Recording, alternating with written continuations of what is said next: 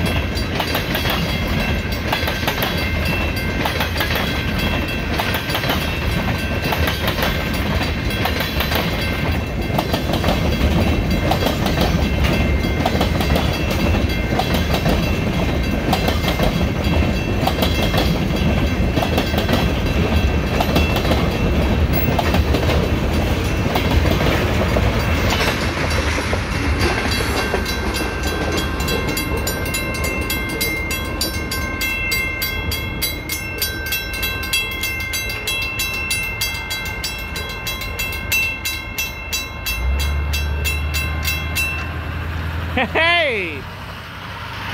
We got 440, 2405, and 2409. Thank you for watching, everybody. And I'll see you all next time. Bye.